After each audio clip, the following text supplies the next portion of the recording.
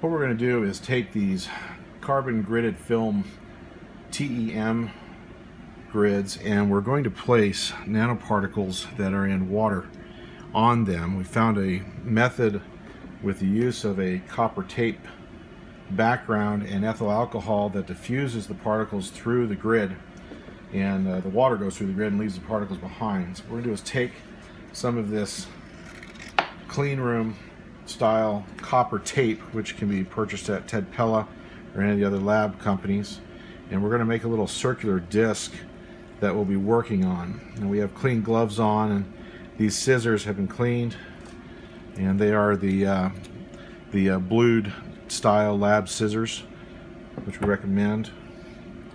Uh, and you go ahead and peel off this backing and what you'll have is a sticky copper tape that you can place on a sample lid. That's all this is, is a plastic sample lid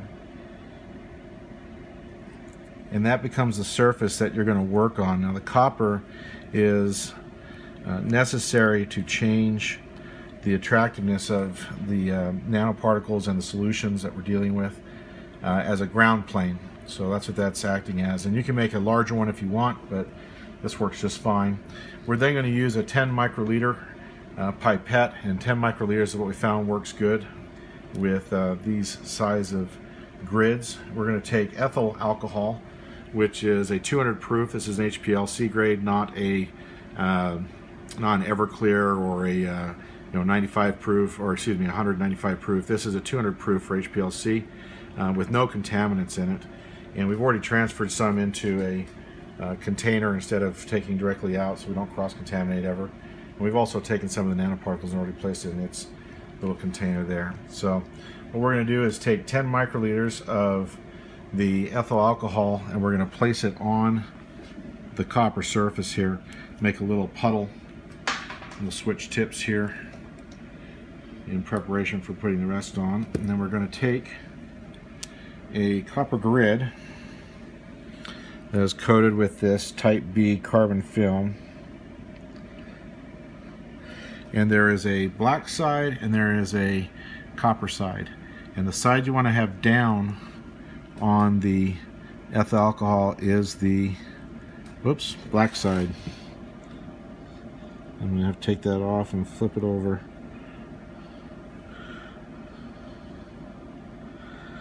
And what'll happen is it'll float on the top.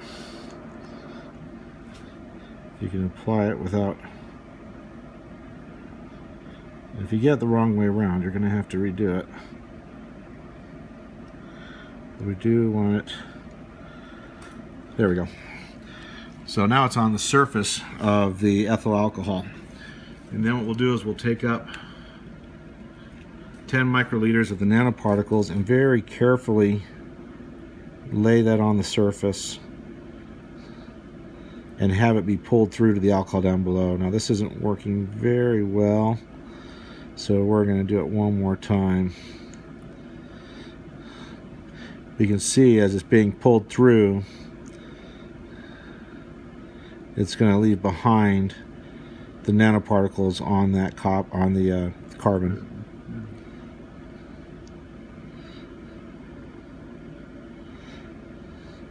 And then we let that dehydrate to 50% of the volume of the liquid that's on there and we're going to do it one more time just because we had kind of a mess with the ethyl alcohol we'll do one more here. So we take ethyl alcohol. You need a 10 microliter amount of ethyl alcohol. I'll try to be a little more careful with this grid this time.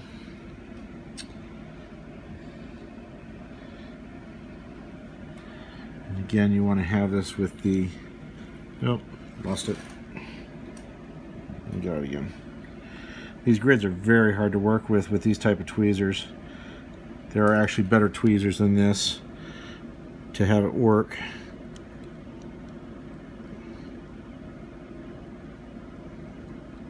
There we go. So the alcohol is underneath it. And then we'll grab another tip. 10 microliters of solution. And you can see how it pulled it right through.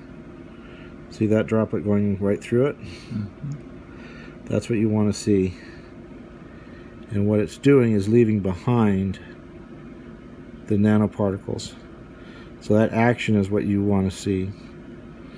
The water wanting to go to the ethyl alcohol and having that dilution, the ethyl alcohol is pulling that through the surface of that carbon grid. This is a really good example of what you want to see as far as the liquids going through. And then make note that when imaging this on the TEM, you're going to want to do two areas of focus. One is going to be the central area where you're putting the droplets, and the other is going to be the periphery if you had any runoff um, in that area. But 10 microliters will give you kind of an idea of how many nanoparticles you're looking for from the count rates you have from the Malvern and the DLS information. Um, and then from that, you should be able to correlate size distribution from your TEM imaging.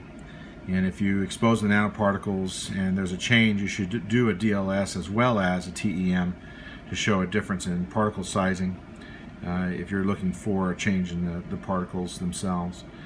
But that's how we've been able to get the best imaging so far with the TEM is by this diffusion method of having the water nanoparticles being pulled through the carbon film uh, by the ethyl alcohol on the other side. Uh, once this is done and it's reduced by 50% its volume, you take a empty uh, holder. You'll take the grid off from that holder or from the uh, copper. You'll place it inside of the hole and then you'll place this inside of a vacuum desiccator to make sure that there's no uh, no liquid left on it before imaging on the TEM.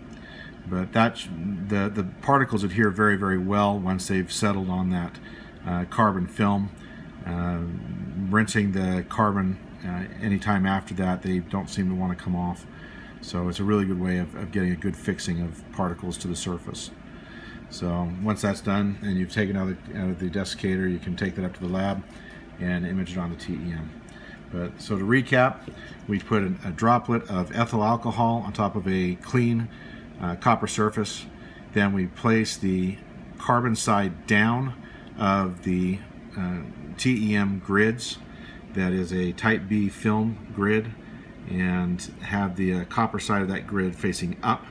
And then we deposit 10 microliters of the sample of the nanoparticles in water on the surface and watch them being pulled through the grid and then after 50% of the liquid is gone and that can just be visually looked at. You take the grid off, put it inside of a clean uh, new case for grids, and then put inside of a vacuum desiccator to remove any other liquids, and then it's ready for imaging.